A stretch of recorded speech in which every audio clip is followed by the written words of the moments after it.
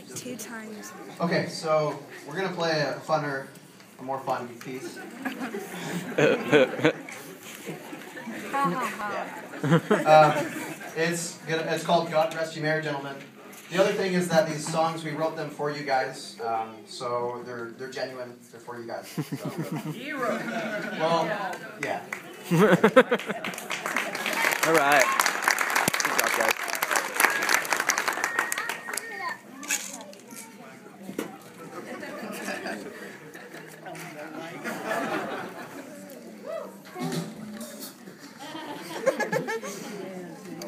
Oh, Nady.